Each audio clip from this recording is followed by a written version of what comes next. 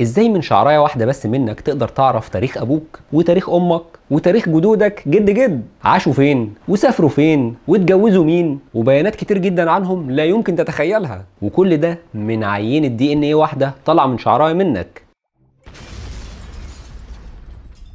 مبدئيا لازم نتفق إن الدي ان إيه أو الشفرة الوراثية هو ده الكتاب اللي موجود في كل خلية من خلايا جسمك وفي كل المعلومات بتاعتك زي طولك شكل شعرك لون عينيك وكل تفصيلة منك حرفيا موجودة جواه. ولك أن تتخيل مثلا إن الخلية اللي أنت أساسا ما بتشوفهاش لو كانت بمساحة ملعب كرة قدم فال DNA هيبقى عبارة عن كرة صغيرة موجودة في النص. فالجزء الصغير جدا ده هو اللي شايل كل المعلومات. وما دام شايله معلومات فأكيد مكتوبة بشفرة. والشفرة دي مكونة من أربع حروف بيتكرروا حوالي 3 مليار مرة عشان يكتبوا كل صفاتك. ولك أن تتخيل برضو إن كل البشر اللي موجودين على الأرض 99% من ال DNA بتاعهم شبه بعضه. و1% فقط من ال DNA هو اللي مختلف. وهو اللي بيخلق كل التنوع اللي موجود على الأرض. هو اللي بيخلي اليابانيين عينهم ضيقة والأفارقة شفايفهم ومناخيرهم كبيرة وال redheads بيطلعوا حمار وحلاوة بطيخ ومش شرط الاختلاف ده يكون ظاهري أو تكون شايفه. ممكن يكون في حاجات ما بتشوفهاش زي مقدار حرقك للسعرات مثلا. هتلاقي واحد بياكل ويتخن وواحد تاني بياكل ويحرق. لمجرد إن حظه الحلو جه في جيناته. واحد أكيد هيسأل طب والاختلاف ده بيحصل من إيه؟ ده يا سيدي ممكن يحصل من أي حاجة. ممكن مثلا من عوامل البيئة اللي أنت عايش فيها زي الحر أو البرد أو المرتفعات. وممكن إنه يحصل بشكل طبيعي جدا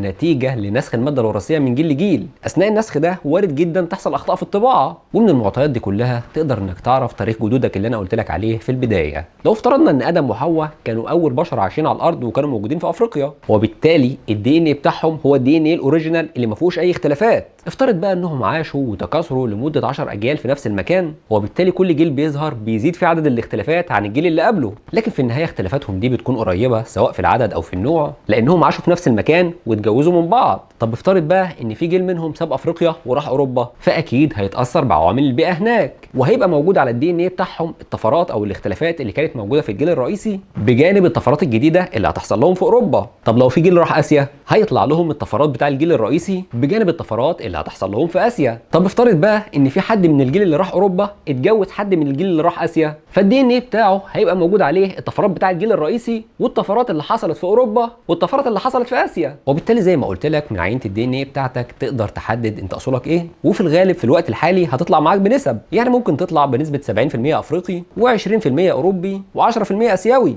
على حسب جدودك راحوا فين واتجوزوا إزاي. وما ينطبق عليك في الوقت الحالي ينطبق برضو على الحفريات اللي كانت موجودة في الماضي. لو جيت أحفر مثلا ولقيت حفرية جثة معينة وأخدت منها عينة دي ان إيه فمن عدد الطفرات نفسه هقدر أحدد هو تقريبا كان عايش من قد إيه. ومن نوعية الطفرات دي هقدر أحدد أصله وسافر فين واتجوز مين. وده البحث اللي وصل سفانت بابو لجائزه نوبل السنة دي أو سنة 2022 الراجل كان عاوز يعرف مين البشر اللي عاشوا قبلنا وفي الماضي السحيق ده كانت هجرتهم عاملة إزاي وكانوا بيتجوزوا مين. بس كان كل هدفه إنه يعرف الكلام ده عن طريق السجل الجيني مش السجل الحفري. حلو نبتدي القصة بقى. الحفريات بتقول إن الجنس بتاع البشر اللي عايشين دلوقتي واللي اسمه ال Homo sapiens أول ما ظهروا كان في أفريقيا من 300 ألف سنة ومن 70 ألف سنة ال Homo sapiens سابوا أفريقيا وراحوا للشرق الأوسط ومن الشرق الأوسط انتشروا في كل مكان في العالم. أقرب جنس بشري يشبهنا اسمه النياندرتال وده ظهر في أوروبا وآسيا من 400 ألف سنة وفضل عايش هناك لحد 30 ألف سنة فاتت وهوب اختفى. بس اختفى ليه أو انقرض ليه؟ محدش يعرف. بس كده في 40 ألف سنة من المفترض إن الجنسين عاشوا فيها مع بعض جوه أوروبا وآسيا وبالتالي أكيد حصل ما بينهم تفاعل. فبابو قال إن أفضل وسيلة تدرس بها التفاعل ده هو الجينات.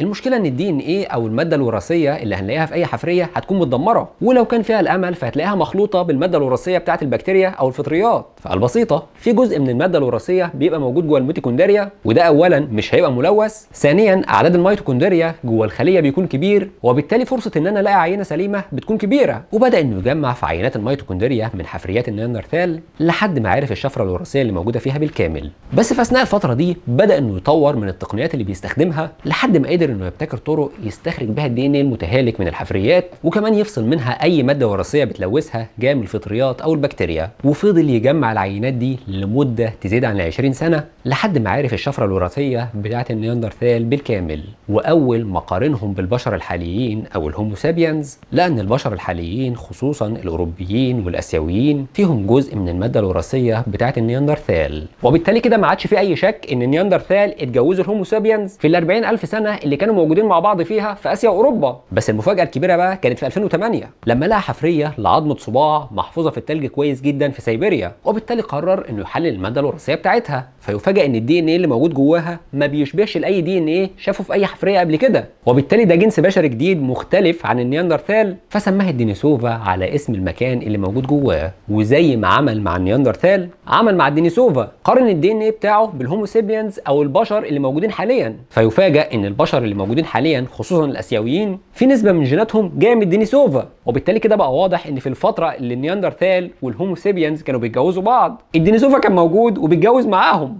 بس برغم إن أبحاث بابو قدرت إنها تعرفنا مين جه منين وسافر فين واتجوز مين إلا إننا كده بقى معانا ثلاث أنواع من الإنسان كانوا موجودين في نفس الفترة. اتنين منهم انقرضوا وواحد بس هو اللي كمل. لكن هم انقرضوا ليه؟ واشمعنى إحنا اللي كملنا؟ لسه إحنا في انتظار بابو جديد عشان يحاول يقول لنا.